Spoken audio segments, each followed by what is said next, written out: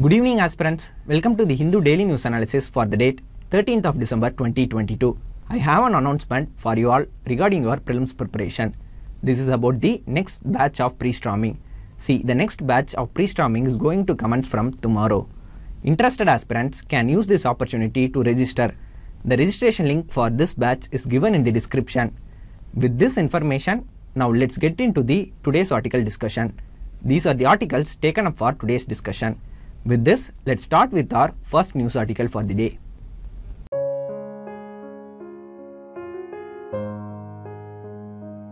Take a look at this news article.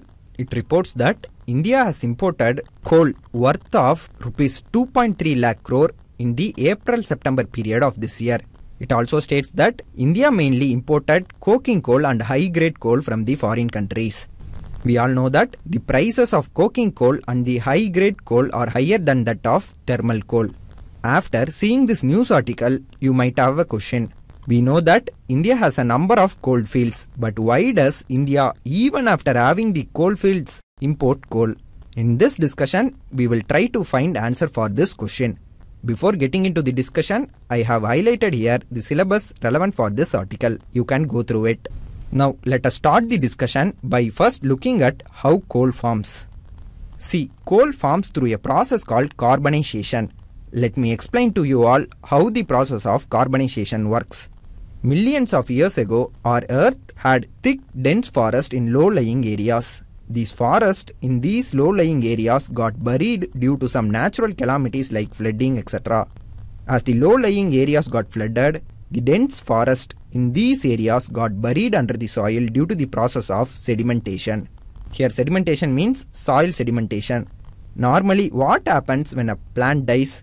It will decompose right? But as the forest got buried under soil, the natural decomposition stopped. As more and more soil got deposited, the pressure started rising and the organic matter of the forest started getting deeper and deeper inside the ground. As the depth increased, the temperature also started rising. Now coming to the question, what is the chemical composition of plant organic matter? See, it is made of carbon, hydrogen, oxygen and small amounts of other trace elements. Due to increasing pressure and temperature, the elements like hydrogen and oxygen are forced out of the dead plant material. Over time, more oxygen and hydrogen is pushed out and the carbon content in the dead plant increases. In addition to this, physical changes also happen due to high pressure and temperature. In time, material that had been previously dead plants became coal. So, to put it short, high pressure and high temperature makes the organic matter of the dead plants to convert to coal. The slow process of conversion of dead vegetation into coal is what we call as carbonization. If you have carefully listened to what I discussed till now, you would have noted high pressure and temperature makes the elements like oxygen and hydrogen getting forced out of organic matter, resulting in increase in carbon composition. We know that the quality of coal depends upon its carbon content.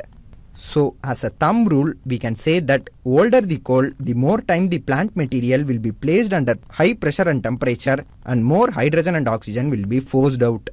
This will ultimately result in higher carbon content in it and higher will be the quality of the coal itself. Having seen the process involved in the formation of coal, now let us see the types of coal. See, coal is classified based on the amount of carbon content in it. And as we saw earlier, the older the coal, the amount of carbon content in coal increases. With this understanding, now let us see the different types of coal. First one which we are going to see is anthracite. It is the best quality coal with a carbon content up to 80 to 95 percentage. They are called as carboniferous coal as these coal are formed during the carboniferous period the Carboniferous period occurred somewhere between 300 to 350 million years ago. In India, we have only very limited anthracite coal deposits. It is located in the Jammu and Kashmir region. Now moving on to the second type of coal. It is known as bituminous. The carbon content in this coal varies from 40 to 80 percentage. It is also called as Gondwana coal. It is called as Gondwana coal due to the fact that this coal formed mainly during the Gondwana period. This period occurred about 250 million years ago. So, bituminous is younger than anthracite which is the reason for its lower quality. Here note that about 80% of the coal deposits in India is of bituminous type and is of non-coking grade. The first commercial coal mine in India was Raniganj in West Bengal. The major coal producing states in India are Jharkhand, Odisha, West Bengal, Madhya Pradesh, Andhra Pradesh and Maharashtra. Important coal fields that produce Gondwana or the bituminous coal include Jharia, Bokaro, Giridih, Karanpura in Jharkhand. Talcher and Rampur coalfields in Odisha, Singrauli coalfield in Madhya Pradesh, Singareni coalfields in Andhra Pradesh and Kamptee coalfields in Maharashtra. This is all about the second type of coal which is nothing but bituminous coal. I am saying it once again, bituminous coal is the coal present in India which is nearly 80% of the total coal deposits. Now moving on to the third type. This is known as lignite. See, it is also called as tertiary coal. Here note that this period occurred somewhere between 50 million years ago. From this, we can say that lignite is the youngest coal. So, the carbon content in this coal is very low and the moisture content is high. Lignite is also known as brown coal due to its color. In India, tertiary coal is mainly found in Assam, Arunachal Pradesh, Meghalaya and Nagaland. The famous coal fields of Neyveli in Tamil Nadu have deposits of lignite in it. The last type of coal which we are going to see today is peat coal. It is the lowest grade coal. It has a lot of moisture and impurities. So when we burn peat, it leaves a lot of ash behind. In India, peat is found in Nilgiri Hills and the Jhelum Valley in Jammu and Kashmir. This is all regarding the types of coal and its distribution in India. Now coming to the main question of our discussion. Why does India import coal even though after having so much so coal reserves within its territory? The first major reason is non-availability of coking grade coal. We already saw that India's coal fields mainly produce bituminous coal and bituminous coal is non-coking grade coal. Metallurgical industries like steel mills require high quality coking coal for their functioning. So, India has to import this high quality coking coal from countries like Indonesia, South Africa, Russia and Australia. This is the first reason. Now coming to the second reason. See, it is about the demand supply mismatch. The bituminous coal produced in India is mainly used in thermal power plants. Post pandemic, the electricity demand in India started skyrocketing. Our domestic coal production was not sufficient to meet the demand. This demand supply mismatch was bridged by importing coal. The third reason is infrastructure bottlenecks. See, there is no proper network connecting the coal fields and the power plants. Many thermal power plants are located near the coasts in India. They usually find it cheaper to import coal rather than get coal from India's coal fields. The last one is the policy bottleneck. In India, the majority of coal is found in tribal and ecologically sensitive areas. India currently lacks a sound land acquisition policy. So, even though India has huge reserves of coal, its production capacity is still low. These are some of the reasons that pushed India into importing coal even after possessing huge amount of coal reserves. With this, we have come to the end of this discussion. Through this discussion, we have seen about the formation of coal, the different types of coal present, and also about the reason why India imports coal even after having numerous coal fields in it. With this information, now let's move on to the next news article. Take a look at these two articles given here. One article is from yesterday's editorial column, while the other article is from today's foreign page of the Hindu. Yesterday's article talks about the ouster of the former president of Peru, while today's article talks about the after effects of the ouster of the president from the office. See, Peruvian Congress has impeached the former president from his office. This has resulted in violent protest across Peru. See, there was a constant tussle between the Peruvian parliament and the executive. This has resulted in his ouster. Let's not get deeper into this issue, but we will take this opportunity to learn about the concepts of separation of power, fusion of power, and also about the division of power. Unlike India, Peru has a semi presidential form of government, which means that it has some kind of separation of power between the three organs of the government. The three organs, as you all know, are legislature, executive, and judiciary. The function of the legislature is to make laws, while the function of the executive is to implement the laws effectively, while the function of the judiciary is to adjudicate disputes based on the law. Countries which follow separation of power principle generally have a presidential form of government. In the presidential form of government, there are more chances for disputes between the executive and the legislature. The perfect example of the country which follows presidential system with absolute separation of power between the three organs of the government is United States. Here, the executives are not a member of the legislature, unlike India. In India, we all know that executives are part of the legislature and they are responsible to the legislature. While in the presidential form of government, executive is not part of the legislature and he is not answerable to the legislature. In this type of system, there is always a chance for dispute between the executive and the legislature. This case can be explained by taking an example which happened in the earlier years of 20th century. The year was 1919. Then US President Woodrow Wilson wanted to join the new League of Nations which was formed as an international organization of sovereign countries after the First World War. But due to his dispute with the legislature, he was not able to join the League of Nations. The American Congress didn't pass the bill which would have allowed Woodrow Wilson to make America a member in the League of Nations. See, this is a perfect case of example of tussle between executive and legislature which is bound to happen in the presidential form of government. Now coming to the exact opposite of this system, the system is known as parliamentary system. India and UK follow this form of government. As I already said, India and UK have executives who are members of the legislature. Here, the legislative members can question the ministers in the question hour. Since executives both member of the executive and the legislature, there exists a fusion of power between the two organs of the nations. This is what we called as fusion of power.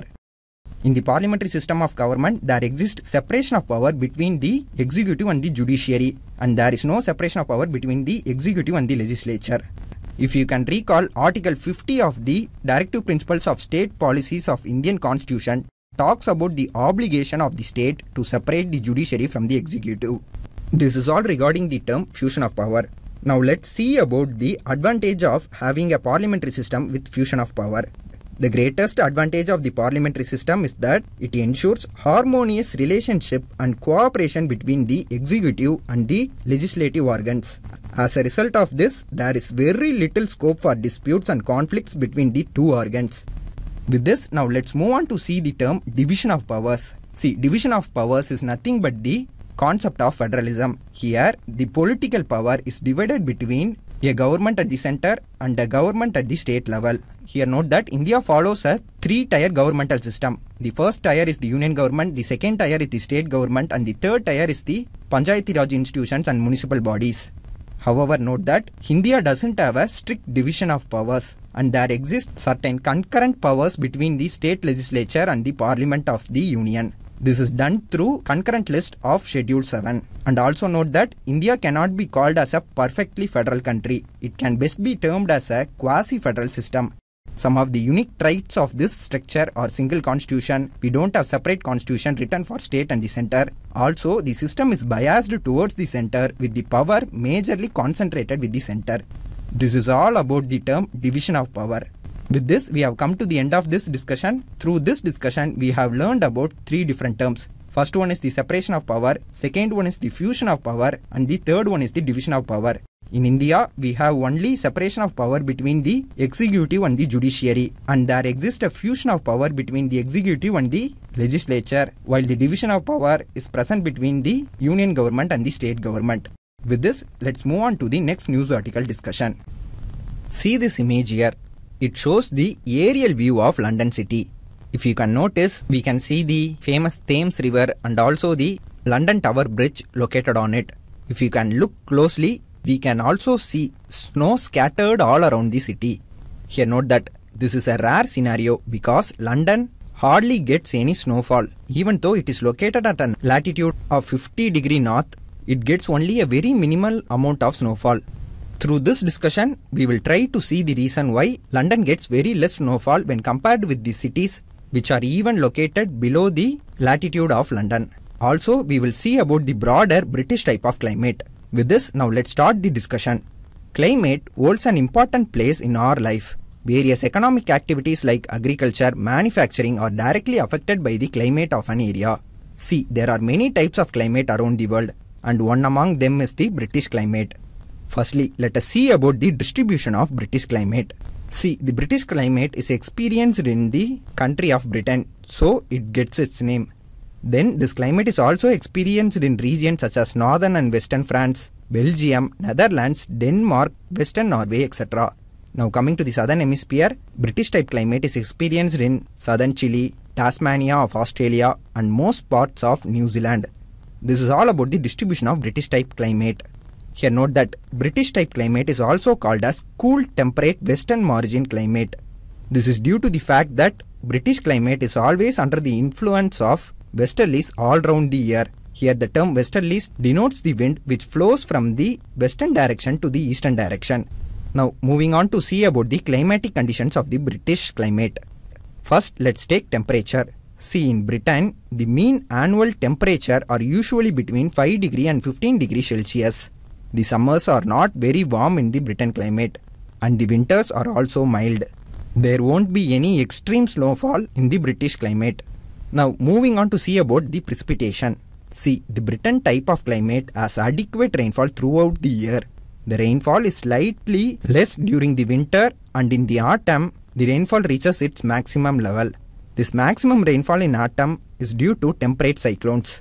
Since the rain bearing winds come from the west, the western margins have the heaviest rainfall and the amount of rain decreases when we go towards the eastern side. This is all about the climatic conditions. Now we will see about the natural vegetation in the British type climate. See, the natural vegetation of this climatic zone is mostly deciduous forest. The trees normally shed their leaves in the cold season. This is due to the fact because since the temperature goes near to 0 degree Celsius, the trees in this region have evolved a technique to protect themselves against the winter. Here note that the shedding of leaves by the tree begins in autumn season which is also known as fall season. Some of the common tree species of British climate include oak, birch, beech, poplar and hornbeam. This is all about the natural vegetation. Now coming to the important question. Why Britain doesn't receive too much snowfall when compared with the territories which are located adjacent to it? Normally, when we move up from equator towards poles, there must be an increase in snowfall, but it doesn't happen with respect to Britain. Let's take the case of London. It is located at an latitude of 50 degree north. Now let's take the case of New York City. It is located at an latitude of 40 degree north. Technically speaking, London must be getting a larger amount of snowfall when compared with New York City, but it doesn't.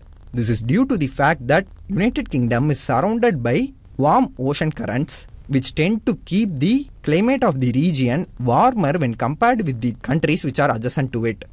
Here, what I mean by adjacent countries is nothing but countries like Norway, Sweden, and Denmark. These countries receive much of the snowfall, but Britain doesn't. This is due to the fact that Gulf Stream, North Atlantic Drift, Norwegian current, all these currents surround United Kingdom and all these currents are warm ocean currents. So this is the answer to the question. Britain doesn't receive too much snowfall due to warm ocean currents. With this, we have come to the end of this discussion. Through this discussion, we learned about the British type climate and also about why London receives less snowfall when compared with the adjacent cities and countries which are located close to its latitude. With these learned points, now let's move on to the next news article. Take a look at this editorial article here. It talks about the need for Competition Commission of India to evolve an ex-ante regulatory framework to curb the anti-competitive behavior of big tech companies in India.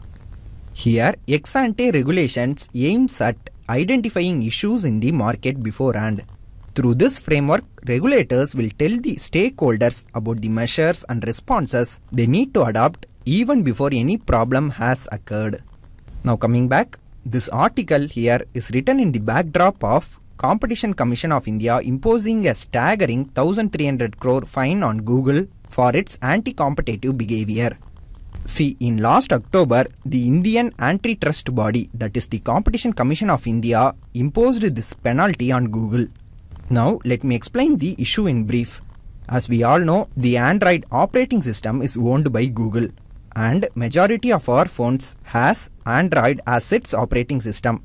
So what Google doing is, it is imposing mandatory pre-installation of entire Google apps on the mobile phones which are operating on Android operating system.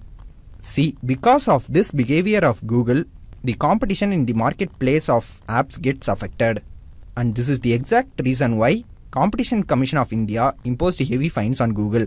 And that's why today we have an article related to competition.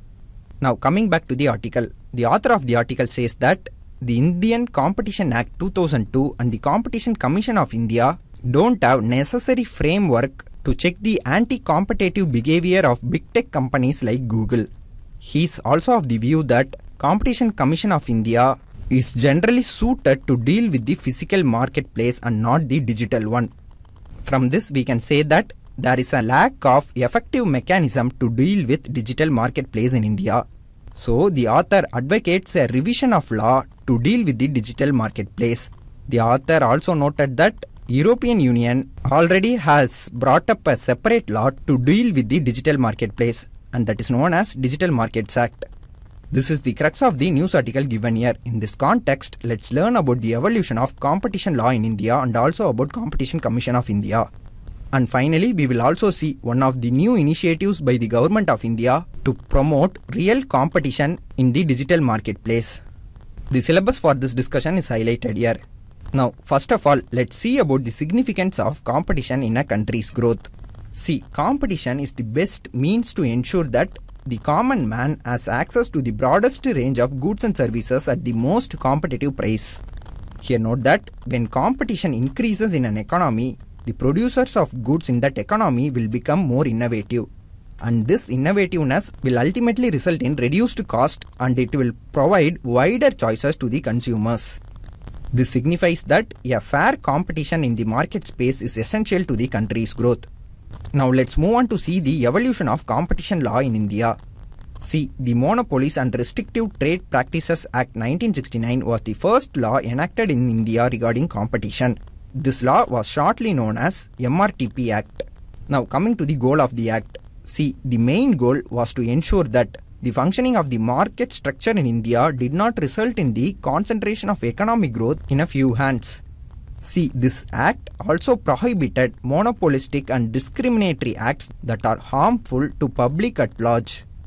This is about a brief background of MRTP Act. Now let's see briefly about what happened to this act. As we all know, in 1991, economic liberalization was introduced in India. Due to this, the trade barriers were eliminated and India began to face competition from both within and outside the country. So, in order to pave the way for globalization, India implemented plenty of new economic reforms. See, the reforms reduced government's interference and progressively started opening opportunities for industry and international investment. In line of new economic plans, plenty of changes were made to India's competitive system. The central government also amended the Monopolies and Restrictive Trade Practices Act. However, this amendment did not meet all the requirements of the time, and the government was in an urgent need to establish a more comprehensive competitive law system. So, the Parliament of India repealed the Monopolies and Restrictive Trade Practices Act in September 2009, and this act was replaced by Competition Act of India. This is all about the reason why MRTP Act was repealed. Now we will see about the Competition Act 2002. See, the Competition Act 2002 was brought as a result of India's drive for globalization and economic liberalization. Here note that the Competition Act 2002 was amended twice in the years 2007 and 2009. Now coming to the goal of this act.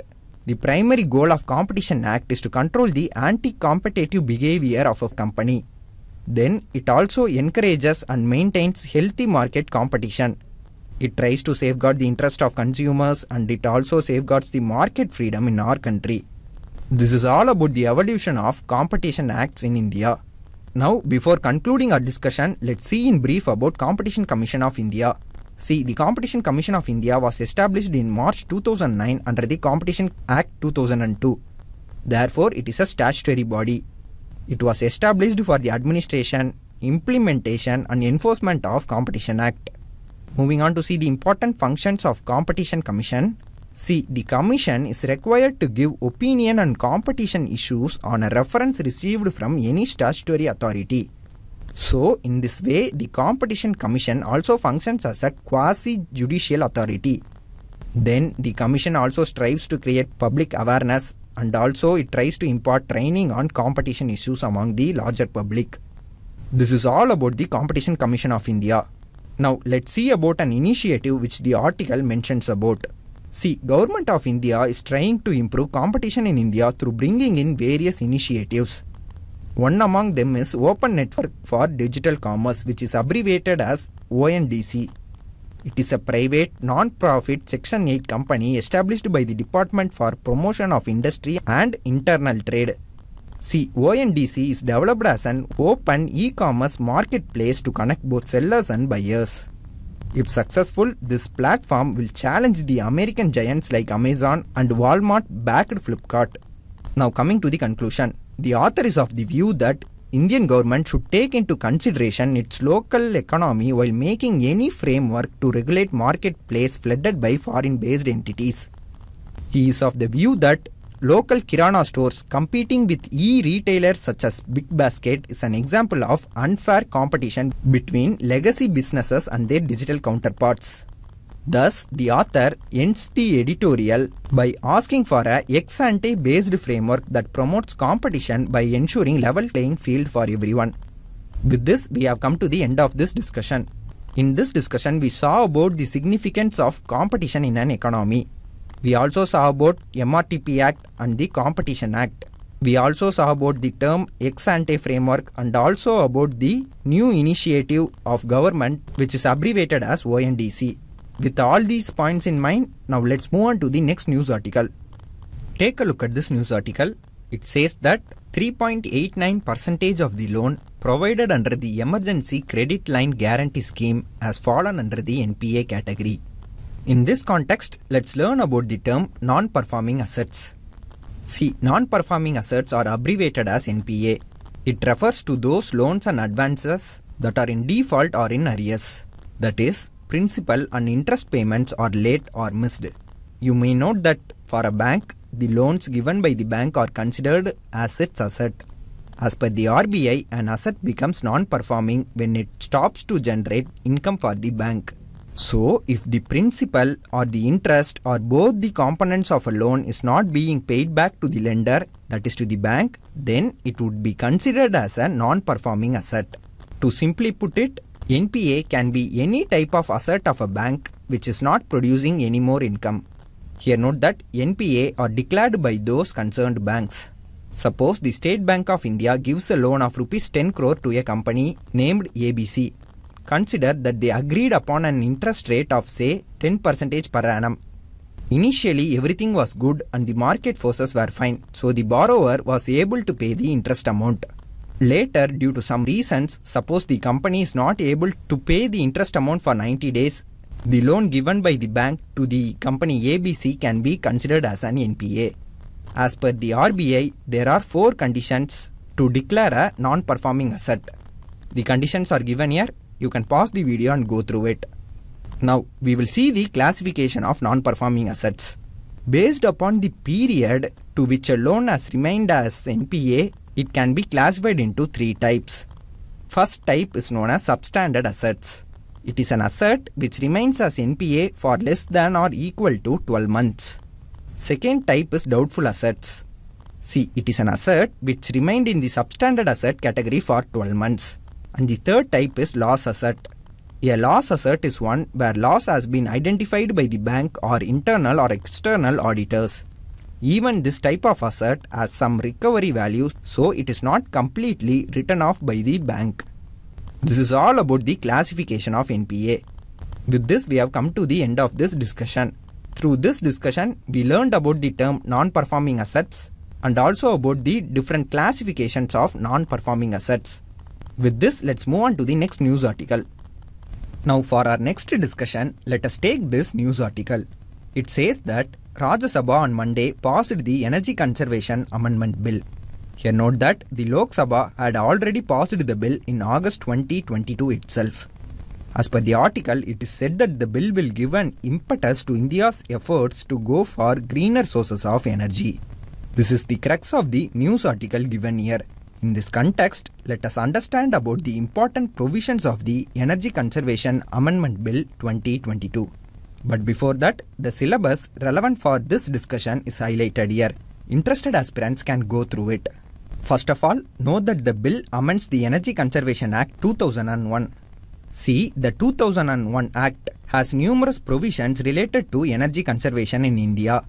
Here note that Energy Conservation Act provides a framework for regulating energy consumption and promoting energy efficiency and energy conservation. The Act has set up the Bureau of Energy Efficiency to recommend regulations and standards for energy consumption in India. This is about a little brief about Energy Conservation Act 2001. Now let us directly go to the important features of the amendment bill. Firstly, the bill empowers the central government to specify a carbon credit trading scheme. Here the term carbon credit implies a tradable permit to produce a specified amount of carbon dioxide or other greenhouse gas emissions. Here the issuing authority will be the central government or any other authorized agency. The carbon credit certificates issued will be of tradable nature. Secondly, know that the 2001 Act empowers the central government to specify energy consumption standards.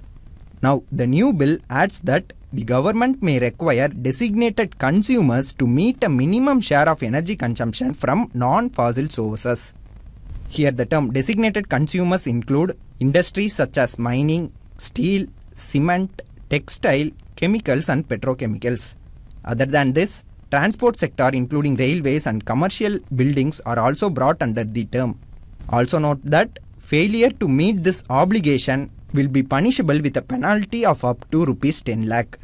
Thirdly, know that the 2001 Act empowers the central government to specify energy conservation code for buildings. The code prescribed energy consumption standards in terms of area but now the amendment bill amends this to provide for an energy conservation and sustainable building code. This new code will provide norms for energy efficiency and conservation, use of renewable energy, and other requirements for green buildings. The introduction of the new code is the first major change regarding the energy conservation code for buildings. There is also one another change regarding the code. See, under the 2001 Act, the Energy Conservation Code applies to commercial buildings. But now, under the bill, the new Energy Conservation and Sustainable Building Code will also apply to the office and residential buildings. And the criteria is same as that of commercial buildings. This is the second major change regarding the code. Fourthly, know that under the Act, the energy consumption standards are specified for equipment and appliances which consume, generate, transmit or supply energy. But now the bill expands the scope to include vehicles as defined under the Motor Vehicles Act 1988 and vessels which includes ships and boats. Here also failure to comply with standards will be punishable with a penalty of up to rupees 10 lakh. The vehicle manufacturers who violate the fuel consumption norms will be liable to pay up to rupees 50,000 per unit of vehicle sold. And finally, the 2001 Act provides for setting up of the Bureau of Energy Efficiency. The Bureau has a governing council with members between 20 and 26 in number. The composition of governing council include secretaries of six departments, representatives of regulatory authorities such as the Central Electricity Authority and the Bureau of Indian Standards, and up to four members representing industries and consumers. But now the bill amends this provision to increase the number of members between 31 and 37. The bill increases the number of secretaries to 12. It also provides for up to 7 members representing industries and consumers. Previously, in the 2001 Act, members representing industries and consumers were up to 4 only. This is all regarding this discussion. Through this discussion, we have seen some important provisions of the Energy Conservation Amendment Bill 2022. See, this is a preliminary discussion of the bill. We will see the issues associated with the bill in the coming days. With this, let's move on to the next news article. Take a look at this article. It says that more than 11,000 children were killed or wounded in Yemen since 2015. We, through this discussion, will try to learn about the ongoing crisis which is going on in Yemen for the past 10 years. To know about it, we have to know about the background of the issue. See, Yemen has long struggled with religious and cultural differences between its north and south territory. the modern Yemeni state was formed in the 1990s with the unification of the US and Saudi backed Yemeni Arab Republic in the north and the Soviet backed People's Democratic Republic of Yemen in the south. Ali Abdullah Saleh, who had ruled North Yemen since 1978, assumed leadership of the unified country in the year 1990. But later, the Houthi movement rose up against Saleh's government. Now, coming to the important part of our discussion who are these Houthis? See, the Houthis are a large clan originating from the Yemen's Sarda province. See, it is a province located at the northern part of the Yemen. They belong to the Shia faction. They literally make about 35% of Yemen's population. See, these Houthis are fighting Yemen's Sunni majority government since 2004. Apart from the Houthis, human rights group also charged that Saleh ran a corrupt and autocratic government. Meanwhile, the popular protests of the 2011 Arab Spring broke out in Tunisia. The protest subsequently spread to Yemen and Saleh was ousted as a result. This famous revolution is called as Yemeni Revolution of Dignity. To fill his position, the vice president Mansour Hadi assumed office as interim president. Hadi enjoyed little popular support in Yemen and the Houthis took advantage of the power vacuum in the north. From the year 2012, they gained followers and allies. Here the allies means the Shia-backed Iran government. See, Shia-backed Iran government supplies weapons to the Houthi rebels. Because of the support from Iran, in September 2014, the Houthis took control over the capital. However, Hadi proclaimed himself as a legitimate leader of Yemen. See, he is currently backed by the Saudi led military coalition which supplies ammunition to the government forces. So, now we can say that this war has become like a proxy war between the Saudi backed government in Yemen and the rebel groups which are backed by the Iran based government in Tehran. This is all about the background of the issue. And due to this continuous fighting between the Houthi and the government forces in Yemen, it has led to an economic catastrophe in the region. The children are not able to get enough food. So, this has led to around 11,000 children dying of hunger. This is what the article also says about. With this, we have come to the end of this discussion. Through this discussion, we learned about Houthis and also about the proxy war which is happening in Yemen between the Saudi backed government forces and the Iran backed Houthis. With this, let's move on to the second part of our discussion, which is nothing but the preliminary practice question discussion. Today, I have taken four different questions for our discussion. Three will be discussed by me, and one will be the quiz question for you. Coming to the first question, let me read out the question for you. Which of the following conditions leads to increase in non-performing assets? Condition 1. Increase in demand in the economy. See, when the demand increases in the economy, there will be economic growth. When there is economic growth, there will be decline in non-performing assets. So, statement 1 is wrong. This will not lead to increase in the NPA in the economy. Now, coming to the second condition, when the economy is going through a recession. See, this is the exact opposite of the first condition. When the economy is going through a recession, there are high chances that there will be an increase in NPAs. So, statement 2 is correct. Now, coming to the third condition, diligent lending by the banks. Here, when the banks lend diligently, only the qualified people will get loans. This will ultimately result in decline of NPA. So, condition 3 is wrong. Now, coming to the fourth condition, policy paralysis. When there is policy paralysis, the private sector cannot carry on with their business activity. So, they will not be able to pay back their loans to the banks, which will ultimately result in increase in NPAs in the economy. So, condition 4 is correct. Now, coming to the correct answer, the correct answer for this question is option C 2 and 4 only. Now, moving on to the second question, let me read out the question for you all. With reference to the British climate, consider the following statements. Statement 1 In this type of climate, the rainfall is experienced only in the winter season. See, the statement is incorrect. The British type of climate has adequate rainfall throughout the year. So, statement 1 is wrong. Now, coming to the second statement. The natural vegetation of this climate is mostly deciduous forests. See, the statement is correct. Regarding this, we have seen in the discussion itself. So, the correct answer for this question is option B, 2 only. Now, moving on to the third question. Let me read out the question. Bab-el-Mandeb Strait conducts which two water bodies? See, from the map here, we can see that Bab-el-Mandeb Strait connects Red Sea with the Gulf of Aden. So the correct answer for this question is option A.